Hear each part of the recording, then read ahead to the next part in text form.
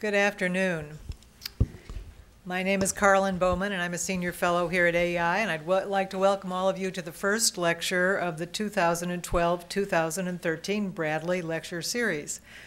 As always, we're deeply grateful to the Lynde and Harry Bradley Foundation of Milwaukee, Wisconsin for its steadfast support for this lecture series, which is now in its 24th year. Just a few housekeeping details. Uh, the next lecture will be on October 15th. It's going to be given by David Skinner, who is the editor of the National Humanities magazine. And the title of his lecture is The Story of Ain't America and Its Language. I'd also like to invite you after this lecture to a reception outside where Leon will be signing copies of his book and we'll have some refreshments.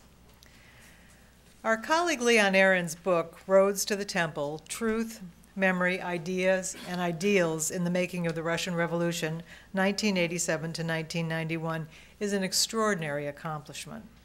Using Russian and Soviet sources almost exclusively, Leon provides remarkable insights into why the Soviet system collapsed.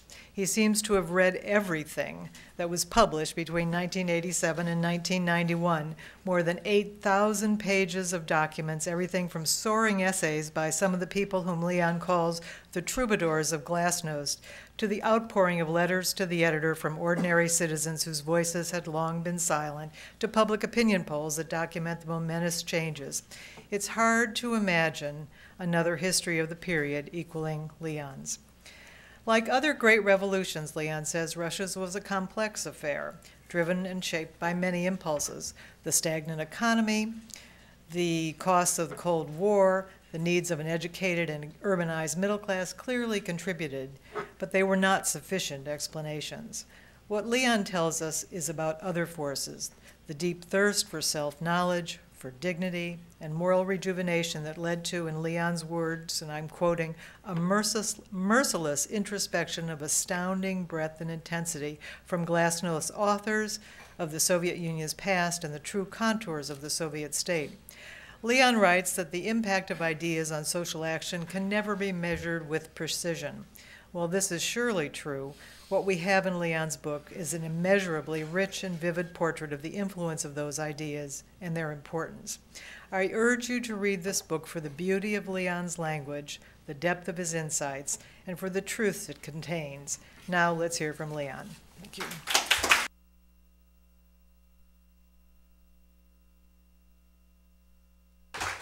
Thank you so much, Karlyn, and, and, and thank you all for very much for uh, coming here today.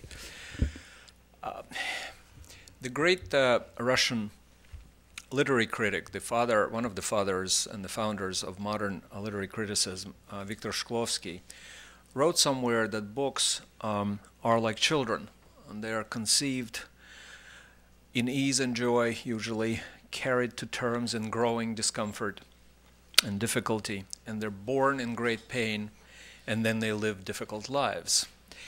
Now, this might be a bit on the lugubrious side, which is hardly surprising given that Shklovsky uh, lived through and somehow survived uh, the first two thirds of the 20th century in Russia.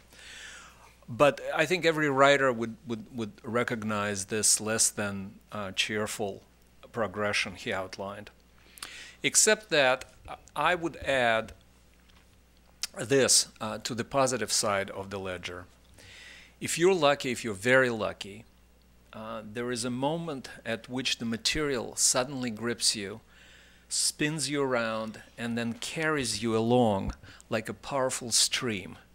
And at every bend of this magic river, you're treated to breathtaking sights you never thought existed. This is what this book about the latest Russian Revolution uh, did to me breathtaking was often a, a literal reaction. Um, I have seen depravity and cruelty blacker than midnight, and I stared down at what seemed to be bottomless chasms, which were the openings on human souls devastated by the regime. But many times my breath was caught also by soaring and luminous human spirit amid almost unimaginable horror and dishonor. This book started um, as a means to recover and relive what I remembered as almost incredible insight, excitement that this revolution gave to those of us who were lucky to be alive in the late 1980s and, and, and were watchful as well. Uh, remember how every morning we opened the paper and we were almost dazed. Uh, were they really saying this in Moscow? Are they really meaning what they're saying and, and are they really going to do something about it? But it all happened so fast. Uh, it was almost too much. Um, and we had little time to, to ponder and savor one miracle before another and yet another rolled along in today's news. And so my initial design and ambition was to enable the reader to linger, to relish, to delight in this, in this brilliant and infinitely benign explosion. I hope too that having found these pearls, I would give them a string and, and later arrange it all in, in some sort of uh, uh, history uh, of ideas narrative. The, the first, I think, uh, such approach to that revolution. If essayistic brilliance um, be a sign of a great modern revolution, as I think it was in, in Britain and America and France, what happened between 1987 and 1991 in Russia certainly qualifies. Anyone doubting Russia's ability to speak beautifully and with utter honesty to itself and about itself uh, needs only to read what was written and published uh, during those four years. But this stream, those 8,000 pages that Karlyn mentioned of the originals that we read for this book, uh, would not release its hold, and and yet and, that yet another bend of this magic stream, I found myself uh, in the position I thought to at least try and answer the question that had been bothering uh, uh, me and, and quite a few other people for almost 20 years. Why and how did the Soviet Union collapse so swiftly and largely non-violently, and why could we not see it coming until almost the last moment? None of the traditional so-called structuralist or institutional approaches uh, to revolution, all of them ultimately rooted in Marxist historical materialism, seem to supply a, a fully satisfactory explanation. And first hinting and then and then powerfully insisting, the material began to persuade me that the state, that the Soviet state was undone not so much by any material or extraneous factors, but by something snapping irretrievably, something, something breaking up fatally inside the soul of that state. And the soul of that state, as a soul of any state, was its legitimacy. And that is what Glasnost deprived the Soviet state of. Um, in his brilliant book about the French Revolution, uh, The Citizens, uh, Simon Schama wrote that the people, capital P, um, were created by oratory, not vice versa. And I think we could say, at least I could conclude from reading what I read and then from comparing it to the public opinion polls, and Russia Russia's revolution, last revolution, was the first great revolution that was entirely polled from almost from the very beginning to the end. Um, that it is also true that that Glasnost also created people uh, with with capital P, and then and then uh, the people went on to destroy the state. But how did it happen? How that is in less than four years that which seemed so powerful and glorious and invincible came to be regarded shameful and pitiful. Another bend on the river, and I realized that I was writing a story of a great people that woke up one morning, looked in the mirror, no longer distorted by censorship and lies, and recoiled in horror. It recoiled and began to ask what is known as ultimate questions. Who are we? Do we live honorably? How should we live? What is virtue and what is evil? How often do we see this search for goodness, this kind of secular reformation gripping a great nation? I said secular, but one of the most startling things about the Glasnost discourse was the seemingly unconscious recovery of religious vocabulary. Um, after the slaughter of hundreds of thousands of priests and believers, after seven decades of murderous atheism, after almost four generations in whom any spontaneous religious feeling had been suppressed. Suddenly, these words were everywhere. Um, uh, the words that we thought Russia had forgotten uh, decades before. Покаяние, repentance, искупление, atonement, грех, sin, добродетель, goodness, and воскресение, resurrection. Like great revolutions before it, the Glasnost Revolution engaged and grappled with some of the most fundamental issues of human existence, unresolvable and, and, and, and, certainly unresolved at the time.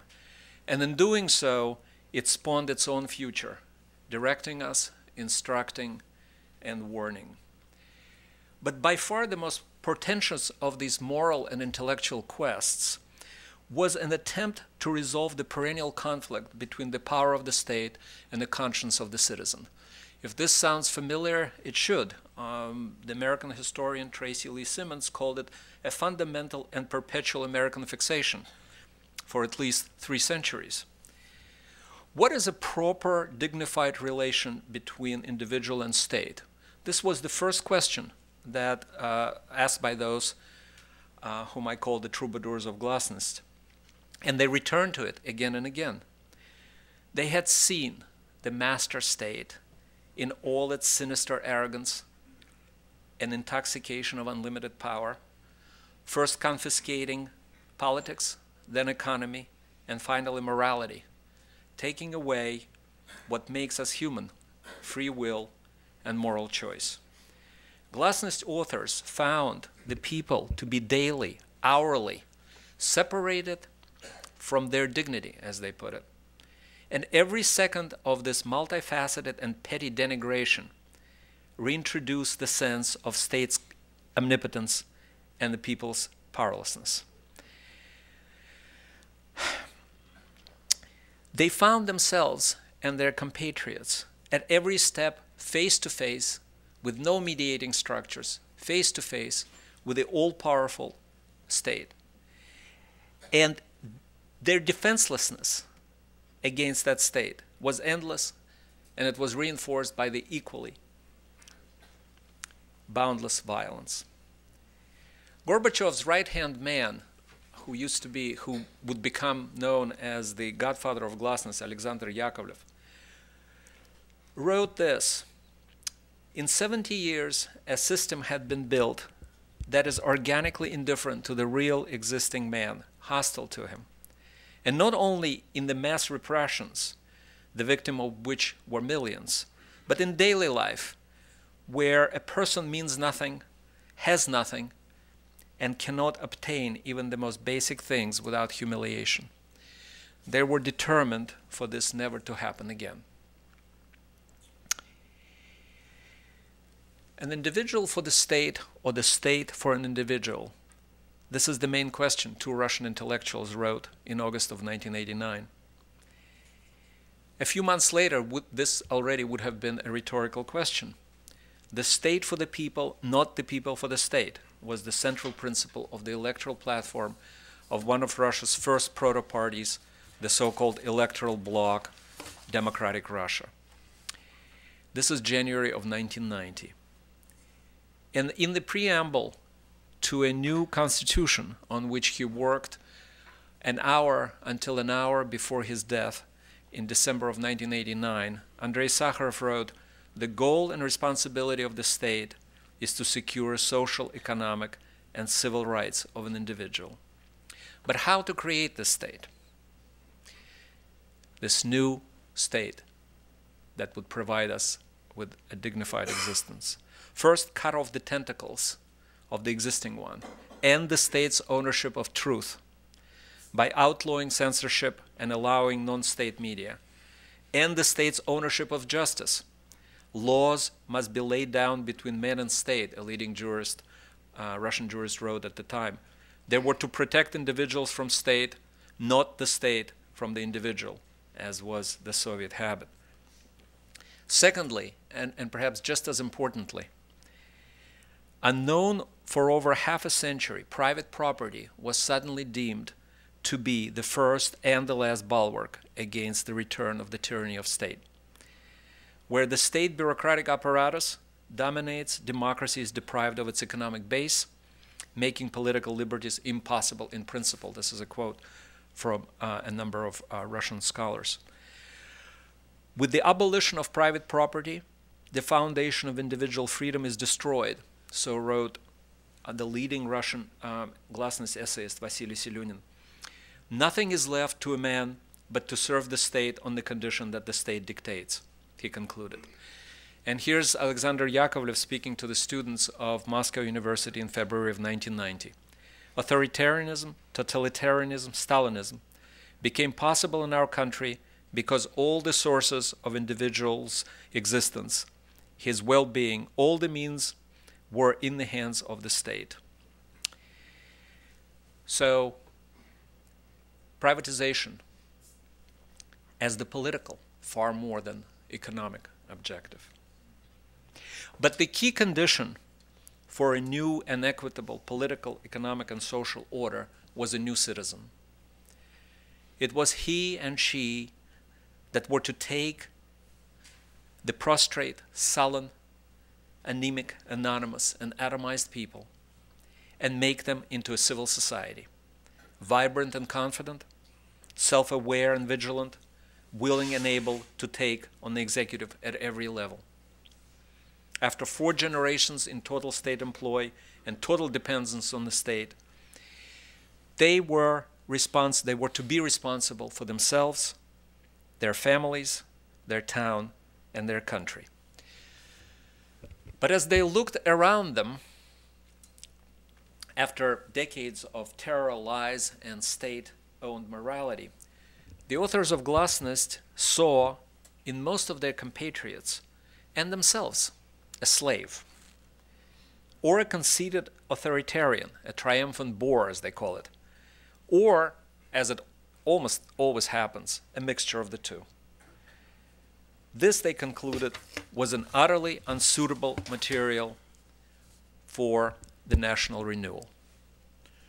One of the most popular quotes of Glasnost, almost its mantra, was a, a famous passage in, in, in a letter by Chekhov where he talked about the squeezing of the slave from out of one's soul. Until this is accomplished, until the man's dignity and mastery over his life was restored. Any talk of the guarantees against the relapse of tyranny was senseless. Uh, this, again, is a quote. A popular Russian writer, Boris Vasilyev, exclaimed, Enough lies, enough servility, enough cowardness. Let's remember finally that we are citizens proud citizens of a proud nation. How then was this unslaved citizen to be constructed? By nothing short of what might be called a remoralization of the nation. In his great book, um, another great, Great Disruptions. Uh, Frank Fukuyama called similar moral watersheds in the history of great nations renorming. And this is what the authors of Glasnost was after, were after. And this is the task that suited them very well. There were editors and jurists, there were journalists, there were historians and philosophers, writers and professors, teachers and doctors, experts and literary critics. But like others, who had led great revolutions before them, they were first and foremost moralists.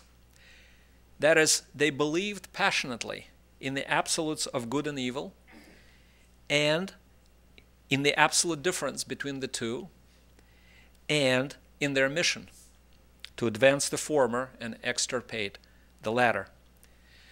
The great American literary critic and political philosopher Dwight MacDonald wrote that the only serious aspect of politics is its relation to morality.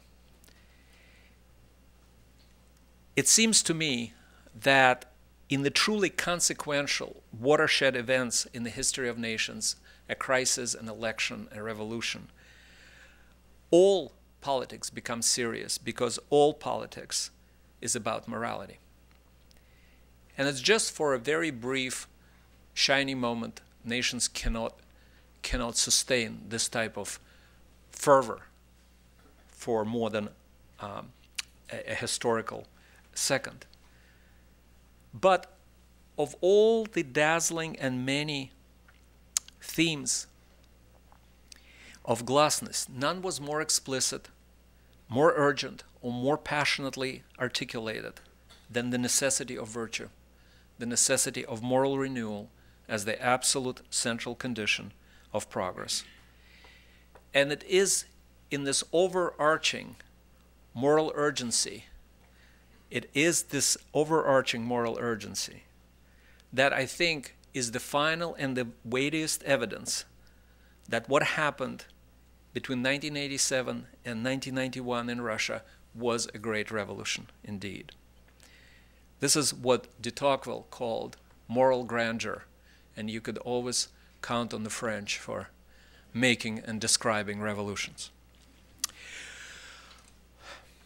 For Gorbachev, the renewal of the society was inseparable from the struggle for the dignity of man, his elevation, his honor, Yakovlev said in uh, February of 1989 that perestroika is a natural development towards every person's right to be a conscious creator of one's own fate, toward rationality and responsibility, and toward the moral basis as the center of personal and social life.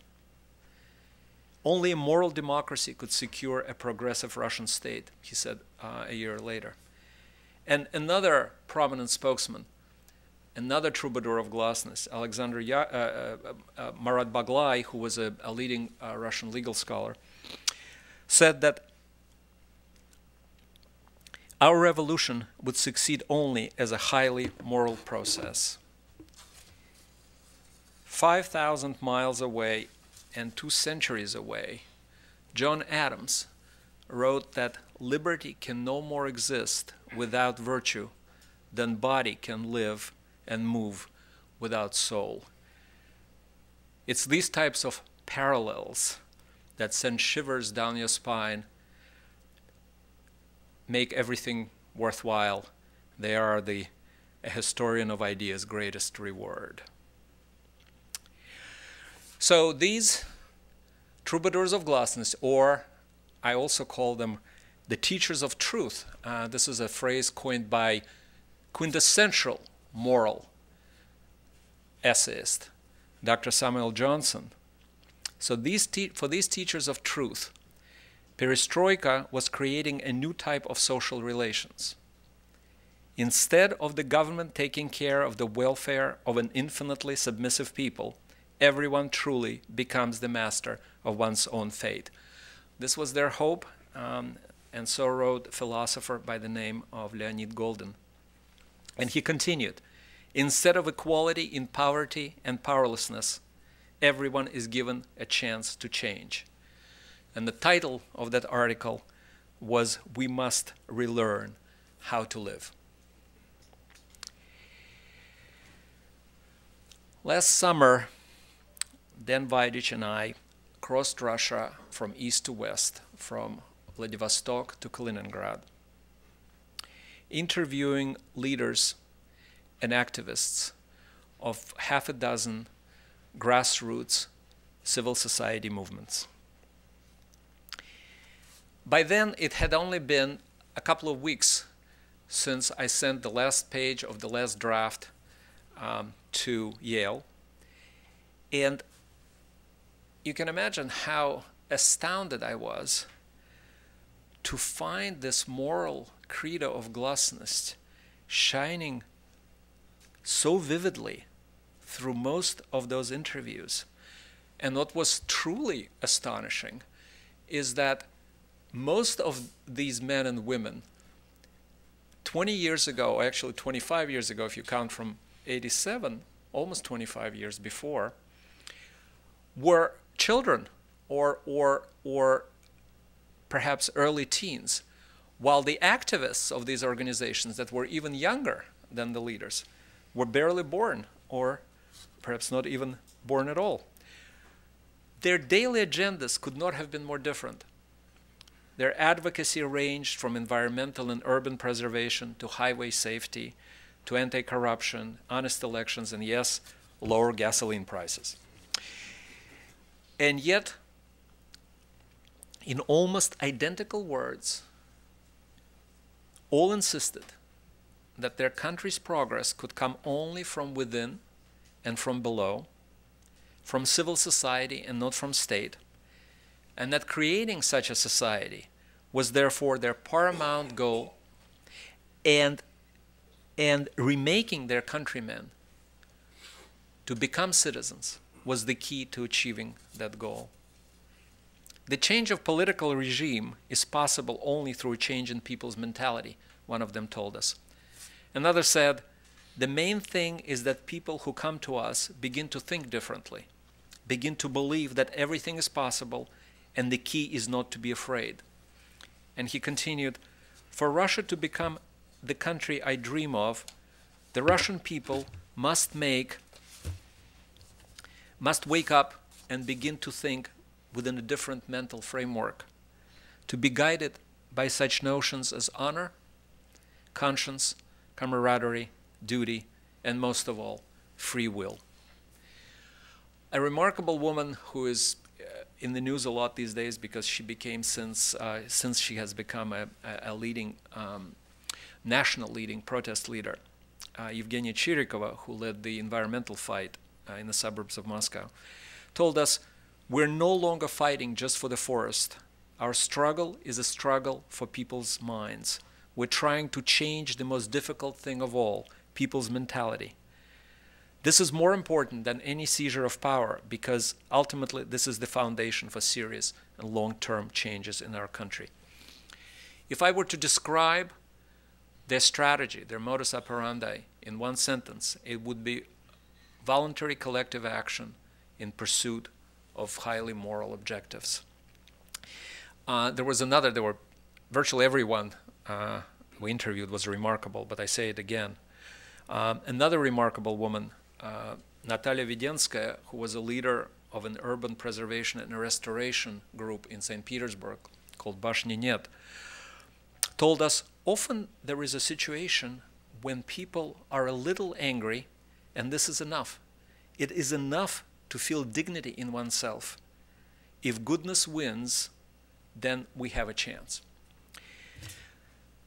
Now, astonishing as all of this was, in July of 2011, in July of last year, this seemed removed by light years from what Russian politics uh, uh, were at the time. And yet, that same December, four months later, on Bolotnaya Square in Moscow, and later throughout Russia, we saw the elements, we saw the expressions of this same sensibility on the banners of the tens of thousands protesters. Their demands, their credo, was summarized by a leading Russian political sociologist as the rejection of corruption, lies, and violence as incompatible with decent life. Uh, a leading Russian pollster told me that the moral character of this movement was starkly undeniable and remarkable. And he added, I have not seen anything like that in the past 20 years. Dignity, honor, decency, conscience, those were the staple, the staples of the protesters' vocabulary. We don't want, we don't want revolutions, a pro-democracy opposition activist said in a rally in the Siberian city of Omsk. We simply want to be able to live and work honestly, but this system does not give us such a right. I'm here because in my country, my government ignores my interests and humiliates me. Another middle-aged woman uh, said in Novosibirsk, about 1,700 miles from Moscow. When Putin was reelected, there was another um, there was a, uh, another outburst of protests, and uh, one of the participants said, in response to a question why he was there, because of self-respect. We're learning to be citizens. Three months ago, AEI hosted a conference on the moral foundation of anti-authoritarianism in today's world. One of the panelists, uh, the Syrian pro-democracy activist Ammar Abdul Hamid, asked the audience whether they knew what was the very first slogan of the Syrian revolution when it barely got underway in March of 2011. He said something very quickly in Arabic and then translated death, but not humiliation. His fellow panelist was Yang Jian Li, who had survived solitary confinement and daily beatings in Chinese prisons. He said, The thirst for freedom is universal. Chinese people want human rights. Nobody wants to be a slave.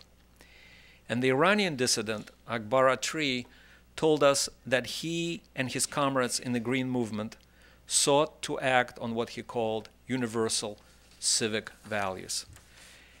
And Akbar's words reminded me of my books earlier, brush, if that's the right word, with Iran. Uh, at the end of June of last year, the Foreign Policy magazine published an essay of mine based on the introductory chapter of the book, uh, in which I lay out, uh, out the argument for the insufficiency of the so-called material or structuralist or institutional uh, reasoning in explaining the uh, collapse of the Soviet Union and called for uh, what might be called an ideal explanation. The magazine published it um, on the cover um, under an unassuming, almost nondescript title, Everything You Think You Know About the Collapse of the Soviet Union is Wrong. Three days later, I received uh, a, an email from an Iranian journalist by the name of Saf Saman Safarzai, who asked me if his, as he called it, dissident magazine, could publish, um, uh, reprint the um, essay, but also uh, uh, if I could answer a few questions for them. And there were eight fairly long questions attached. They wanted to publish the interview alongside the, um, the article. Among the questions uh, was the one about what they call the unethical situation in the Soviet Union as the key cause of the revolution, the reason for the West's surprise at that revolution, but also at the Arab Spring, and the lessons that the Russian Revolution had for Iran and the Middle East. I've done all of this, and then I received another email um, in which Saman advised me that they would like to remove some of the material because, as he put it, it could not be published. You know how things are going on over here. He added, I have to tell how ashamed I am of asking you this kind of request. I learned later that the magazine's editor, Mohammad Ghouchani, had been arrested in after the 2009 presidential elections and was tortured and was released only because he confessed to all manner of transgressions against the regime. Well, A month after they published the excerpt and the interview, the magazine was closed down. Its name was Sharvand Emruz, and it meant Citizen Today. Saman surmised and speculated that it may have been, and most likely have been, because of um, the magazines crossing some lines with respect to Ahmadinejad and the Arab Spring. But if the experts from the book about the moral heart of the Russian Revolution had contributed in any way to the decision of the Iranian censors, I cannot think of a more gratifying recognition. Thank you for coming and listening.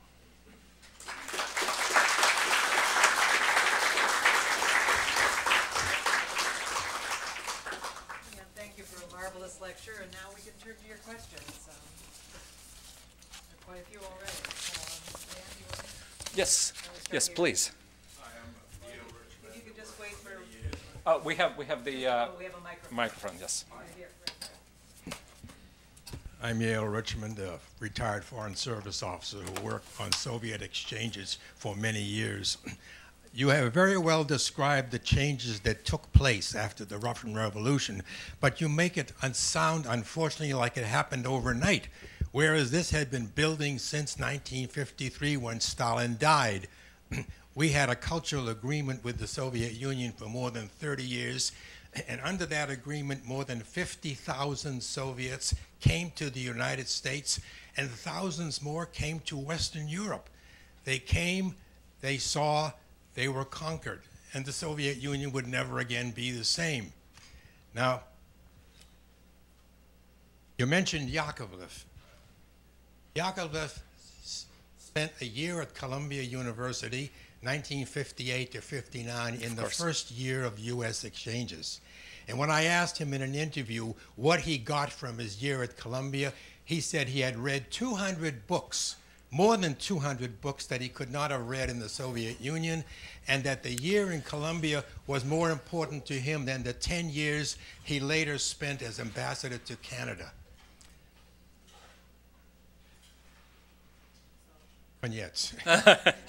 Well, no, thank you very much. Uh, the the again in a lecture it's impossible to cover everything. In in the book, I talk about the formative event um, for most of the people who led the revolution, and that was February 1956, Khrushchev's so-called secret speech. Uh, in fact, Yakovlev, who was already uh, a rising star in the propaganda department, was there in the audience. Others were not so privileged, so they were not there. Now, undoubtedly, these exchanges helped, but without Gorbachev and without Yakovlev,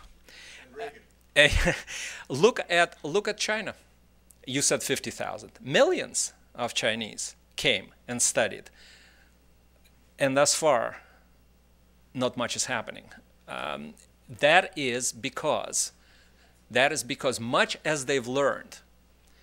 Don't forget, these are all nomenclatura or the party nobility that went. Uh, to they were checked and rechecked, and I would guess that at least a quarter of them were KGB. By the way, did you notice that another student uh, at Columbia around the same time was Kalugin, uh, who later became lieutenant general of, of the KGB and the youngest counterintelligence chief in the Soviet history. So these are the, you know, these exchanges I think undoubtedly helped to plant the seed, but it had to, it had to come to some sort of a more, more welcoming soil than, than, than what it was until 1987.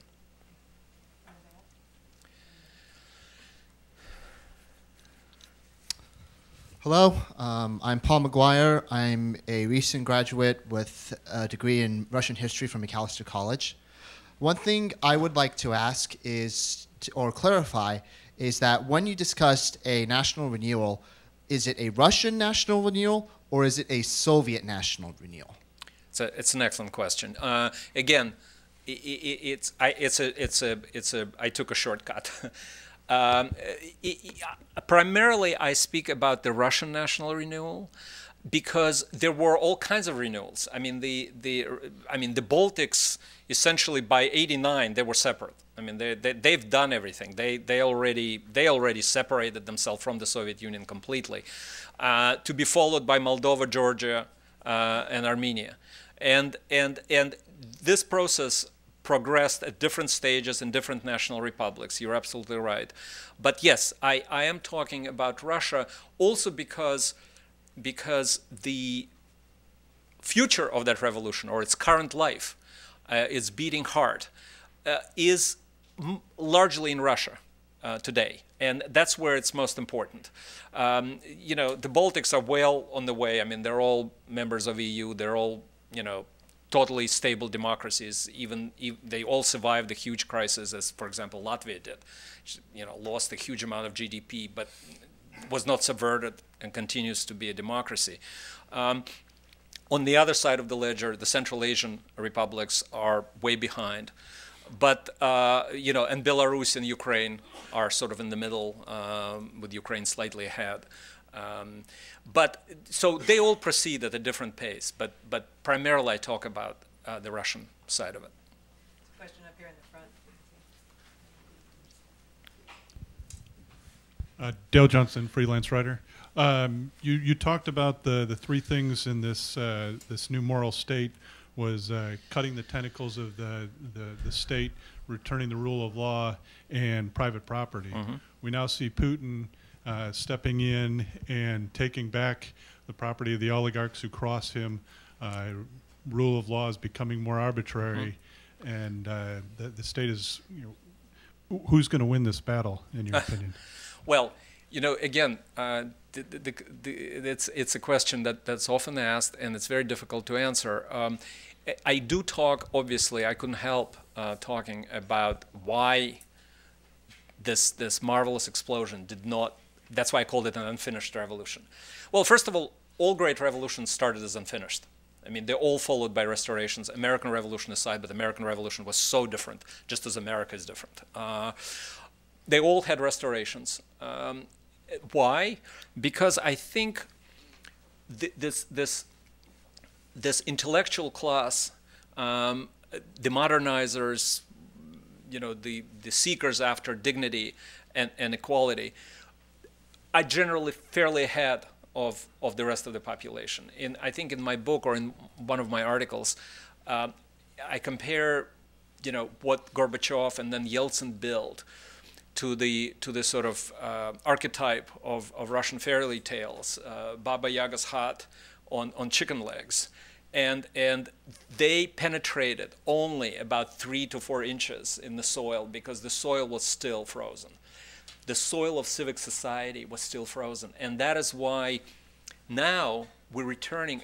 I, am I'm, I'm rather hopeful now because we're seeing precisely the soil of that society uh, becoming more welcoming to the political institutions. But I think in every great revolution, the political institutions are so far ahead of, of most of the society that in the end, they're very easily subverted and, and hence the restorations that, that follow virtually every great revolution. But eventually, eventually, I mean, it took the French from, uh, you know, 92, 1792 to 1870 to create the first more or less stable uh, uh, democracy. So, so um, eventually you, you, you, you catch up, um, but we'll see how long it will take but you're absolutely right. There is there is a uh, you know there's Putin, but there's one thing that that that needs to be uh, uh, said. Privatization did do did do its thing. Russia is not the Soviet Union. You could you could cross uh, the authority so so long as you you know you're not doing it all the way and that you don't become to become you know don't plan to become a president like Khodorkovsky. Uh, look, look, you know, go to Moscow, go to the rest of Russia. It's, it's a huge progress compared to the Soviet Union. It's not as far as we would like it to see, but it's, you know, I mean, think of Franco Spain or, or Philippines under Marcos. I mean, it's, you know, you can do whatever you want so long as you don't cross the authority in a major way, in a major way. You could write your blogs for the, you know, 2,000 friends of yours or, which is why these, these demonstrations are a qualitative leap. They represent something else, but we'll see what they will amount to.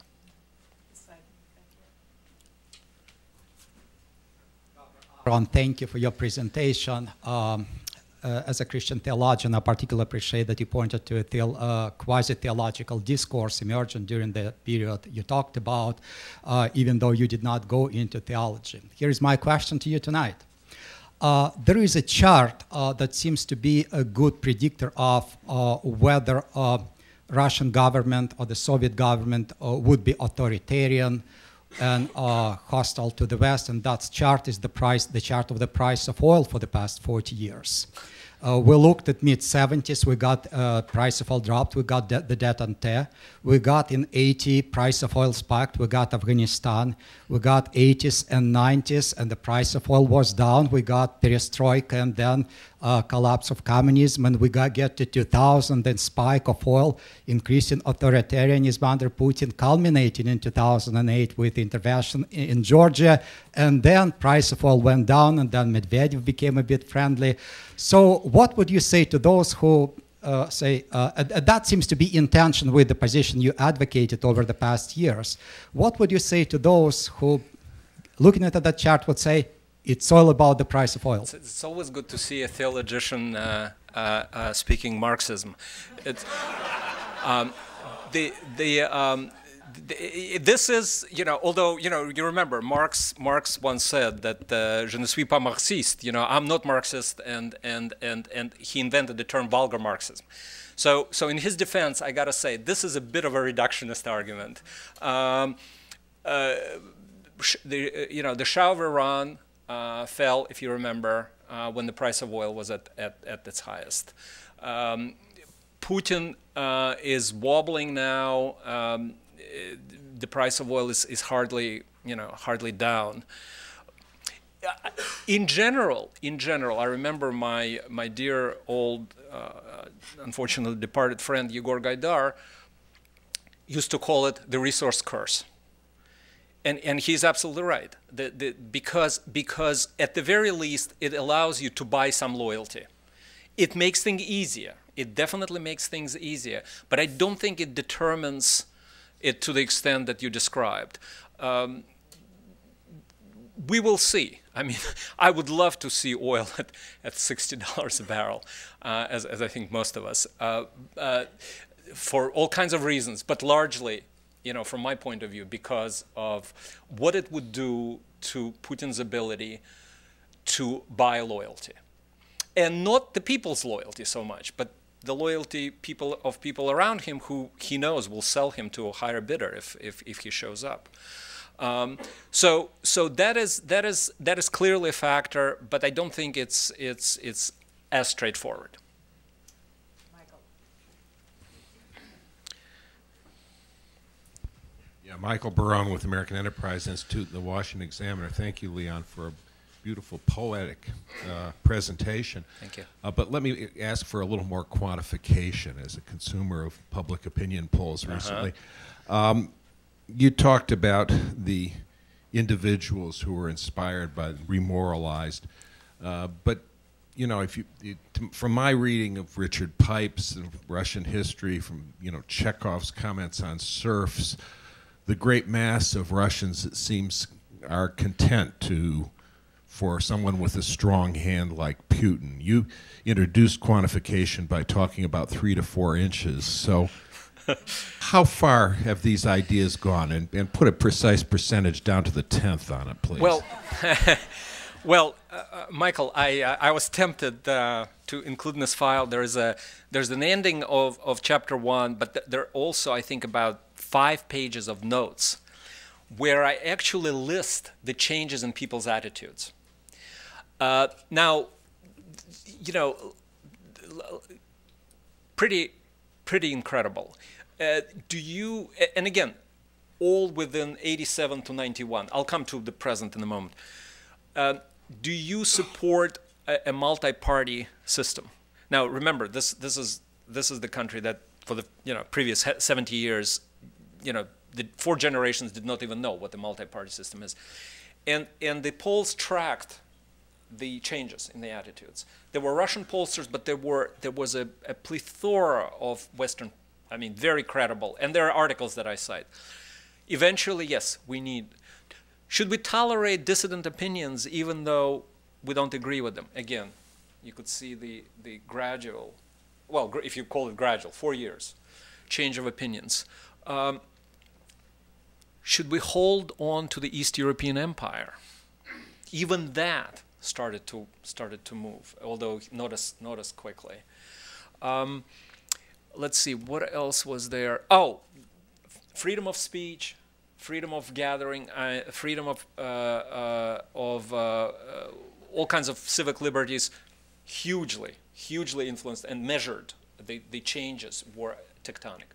So by 91, you you had a society that was clearly oh and private property which was totally amazing to me. Uh, private property. I mean would you would you prefer a market system um, to to the current system? And again you know like with eastern europe it was not as as hugely uh, uh, overwhelming but good majority you know a good, a good majority were were for the market system. So by 91 my sense is that the society basically accepted the framework of free market liberal capitalism, basically accepted. But then you you come into all kinds of factors. Uh, revolutions are followed by disappointments. In the 90s, by the way, that, that is that is absolutely true. People forget that for most of Yeltsin's rule, oil was $18 a barrel. Uh, speaking of you know, luck. So, like all post-revolutionary regimes, they could not collect taxes. I mean, the, the, French could not do it, the, the British could not do it, the Americans could not do it. Um, there was a huge disappointment. Then there was a 98 crisis. Um, and then Putin was extremely lucky that, you know, the oil every year you know, from $18 all the way to $140 in 2008. And so, and so people did start living much better. And, and Putin's implicit deal was, you know, you stay out of politics and, and, and your income, uh, your real income will grow 8 to 10% a year. And, and it worked. Uh, and it worked for a while.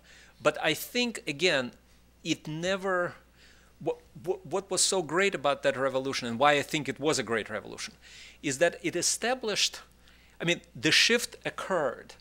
You know, I always, again, speaking of the French, uh, I always remember uh, another marvelous phrase by de Tocqueville. He, he talked about these types of changes as rivers that go underground only to reemerge at some later point somewhere else.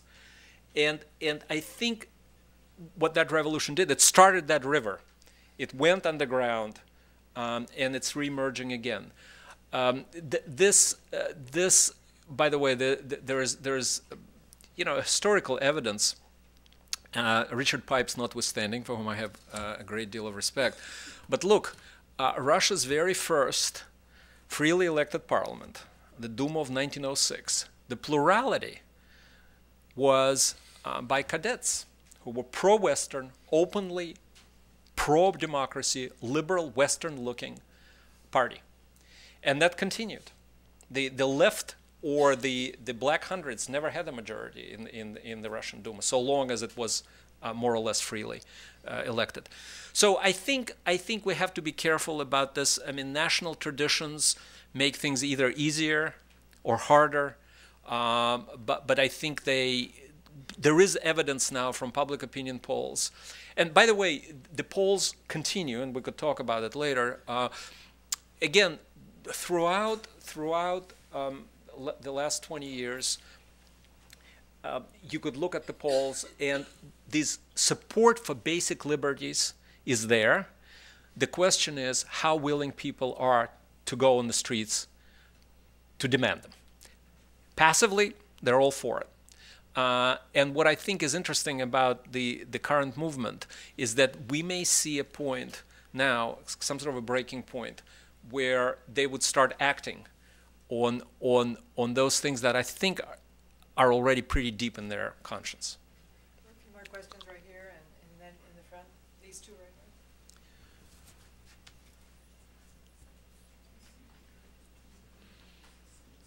Claire Griffin. I'm an independent consultant. In the late 90s, I was working with some uh, university professors and secondary school educators from Krasnoyarsk and also from the Republic of Tuva. And so late 90s. Good, and I was good throat singers. there. Yes, definitely. and I was struck at the time, though, by the challenges that these members of the intelligentsia were having in articulating and, and defining citizenship, civil society, goals, etc. Uh-huh. Now, that was 15 years ago. What has changed? Ah, well, um, I um, if you if you if you uh, leave me your card, I'll send you. We just published um, the results of that survey that I described, uh, where where I traveled and interviewed, and it's called the Quest for Democratic Citizenship. Um, I think you you'll find the changes very surprising, and that is that is astonishing, because on the surface not much was happening, but there's something some sort of maturation of civil society that was growing on uh, uh, uh, going on inside. Um, no, they they're very clear about what the civil society, what kind of civil society they want. But most importantly, and here's a historic and a very hopeful historic change. Whether they wanted, you know, dictatorship or whether they wanted uh, democracy, the national political culture tended to look up. You know, we will, you know, somebody will bring it. Okay, it will be Gorbachev, it will be Yeltsin, it will be Alexander II. What struck me as, as perhaps the sharpest departure and probably most hopeful departure uh, in, in, in the uh, political culture is that they're now saying, no, it's, you know, I, in fact, I have direct quotes there. It doesn't matter. One of them told us, well, actually several, but, but, but the essence is this it doesn't matter who is in power so long as society either has control over the executive or it doesn't. That's a, that's a huge progress. Um, so let, let me know how to reach you. I'll, I'll send you the PDF. You have a question up here, and then question here, and then Leon is going to be available to sign copies of his book. Thank you for coming and uh, speaking very poetically, very beautifully. And uh, I'm I'm Jordan Harms. I'm an intern at the Woodrow Wilson Center. Um, my primary Please concern. give, please give my regards to Blair Ruble. I certainly will next time I see her. Um, my primary concern with uh, the current revolutionary movement, movement is that one of Putin's greatest strengths is he has a, p- se- a personal charisma about him, much in the same way that uh, Soviet leaders did. And the thing that concerns me is that even though there are that there are, there is a growing uh, sense of discontent among uh, the general public in Russia, there doesn't seem to be a uh, a clear leader of opposition, uh, at least in the political arena. United Russia, they, they pretty much have most of the control. The mo- they exert the most power. There isn't really a, uh, a clear oppositional party in in Russian politics. Um, do you think that with the with the changing situation in in Russia right now that the opposition needs a leader, or do you think that there is a leader that uh, there are potential leaders who could potentially fill the role? All right, uh, very, very interesting. The first issue is Putin. The, the Teflon is off. Uh, it's no longer 80%. He dipped below 50% approval. Now, where I agree with you, he is not so much charismatic as he is extremely clever. Putin realized that politically, he realized that he has a constituents. Um, my Russian uh, uh, sociologist friends call it Russia 2. There's Russia 1, Russia of big cities. Uh, when Dan and I traveled and we talked to them about the things we saw in our, you know, on TV in our hotels, they looked at us at amazement because none of them watches TV. They're all on the internet. TV is, is, is for, you know, it's beyond them. I mean, one of them said, in fact, a woman in Irkutsk, which would be what, 3,000 miles from Moscow. She said, I, I don't watch it. My husband doesn't watch it. None of my friends uh, watches it. Putin's appeal is the television, to television Russia, not internet Russia. Uh, they're not that disparate in, in their in their because because Russia of about 12, 14 largest cities is not that much smaller than than the than the television Russia. The television Russia is a Russia of small cities, the so-called um, small and medium rural, and and uh, uh, you know the so-called monogoroda, which is the, the places where where there's only one company. It's a company towns which are which are entirely on the donations from the Kremlin and so they're they're obviously utterly utterly uh, devoted. Um, that is Putin constituency, and he got them fairly well. Uh, he, you know, all his famous vulgarisms. That's all for them. Uh, he, he, they're constantly polled by his private pollsters. He knows what to say. Uh, you know, he he knows how to divide uh, the society, how to how to for his constituency, describe the protesters as you know this this fat bourgeois, the you know the mink coats, the you know they're traveling abroad while you're working here, and you know they don't know what to do with their money. They're you know there's a Russian expression "беситься жиру," which is very difficult to translate, but something like you know you go nuts because of all the fat that you accumulated. Uh, so so this is this is the group uh, to which Putin appeals, and he's been very successful. There's no doubt about it. But I think, and again, there's, there's some, some very interesting sociological research. Um, look, look at, at our site. Uh, my latest Russian Outlook um, uh, is about this new protesters movement. And it's, it's, it's filled with, with statistics. And you'll see that even in smaller cities, yes, they're not there to, you know, to, to uh, demand democracy, but they want they, they don't want to be afraid of, of street uh, of traffic police anymore. They don't want to go to the to the health clinic and be asked for a bribe or or or to enroll a kid in the kindergarten. I mean, those types of things are beginning to get to them as well. Um, and so and so I would not, you know, I would not consider Putin kind of uh, invulnerable or invincible. Uh, that's not the case anymore. One final question.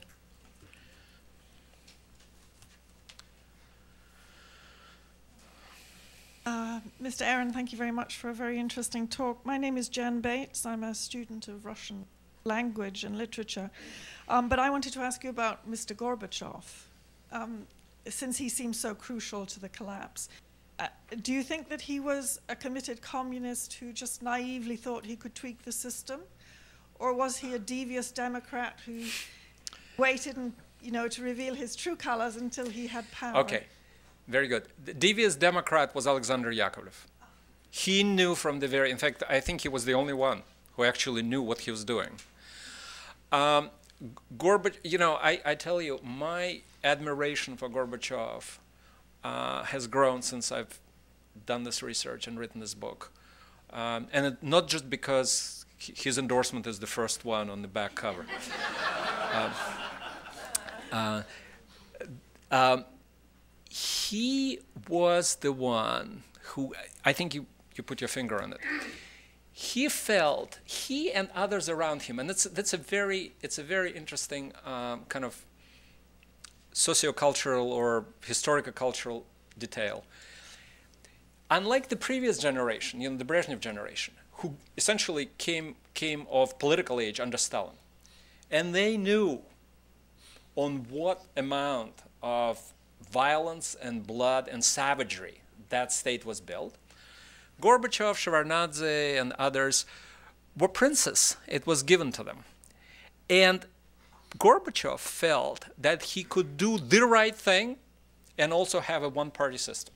In other words, he departed on this hunt for the blue bird of socialism with a human face. One party socialism with a human face. I remember in 88, uh, someone asked, not Gorbachev, but he had a very clever uh, spokesperson, and they said, "Well, what's the difference between Gorbachev and Alexander Dubček in, in Czechoslovakia in, in 1968?" And he said, "20 years." Um, so that, that that that is the deal, and I think once Gorbachev realized, and that was probably in 1989, the huge. Um, if you if you go um, and look at my uh, biography of Yeltsin, there's a chapter there on the first proto-democratic election. I mean, with all kinds of restrictions and uh, all kinds of tricks of 1989, uh, March of 1989. I believe, you know, uh, the party's first secretaries, um, essentially the the potentates of uh, of regions, um, all ran in the in the election. Gorbachev forced them, and I think out of 80, something like 50 lost. That was the break point. At that point, Gorbachev had to decide either he's tightening it all back or he proceeds with this, with this idea that this could be democratized and yet be kept whole and be kept as a one party state. And he proceeded nevertheless. And later on, with some minor exceptions, he abhorred violence and he would not unleash violence, which is why they had a coup um, in, in August. And so this is, I, I, don't know if he's ultimately a tragic figure or a heroic figure, uh, probably both. That does happen. But, uh, but he, he's clearly somebody who will, who, will be, who will be up there with de Klerk and Mandela and Lech Wałęsa. Thank you thank very all much. of you for coming, and I think you'll understand now why Leon is such a valued colleague. Um, please join us for a reception outside. Thank you. Thank you very much. Sir. What a wonderful lecture.